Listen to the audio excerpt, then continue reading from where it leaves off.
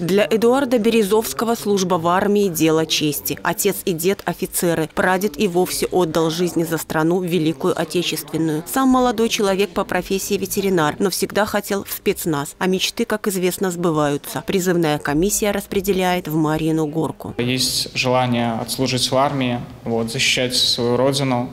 В принципе, как и все ребята. Научиться чему-то новому, приобрести, возможно, друзей, получить навыки, потянуть свою физическую подготовку. Студенты-первокурсники белорусских учебных заведений сельхозпрофиля, как и в прошлые годы, смогут отслужить в армии в качестве резервистов во время летних каникул, но только по желанию. Что касается остальных, в военкомате стараются пойти навстречу при подборе подразделения. Всего же Бобруйской призывной комиссии предстоит вынести свыше тысячи решений, в том числе и о предоставлении отсрочек. В настоящее время отсрочки могут быть предоставлены по следующим основаниям.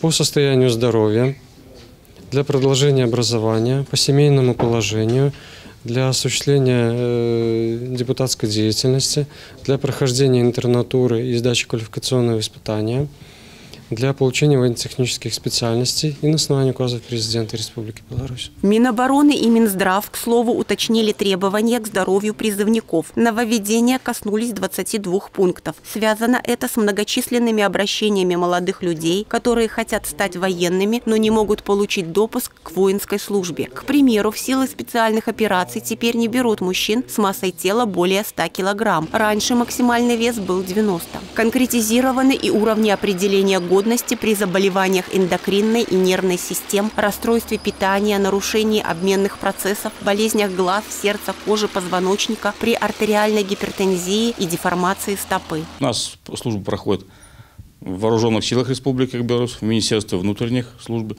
в органах пограничной службы и в Комитете государственной безопасности. То есть все наши юноши охватывают весь спектр силового блока.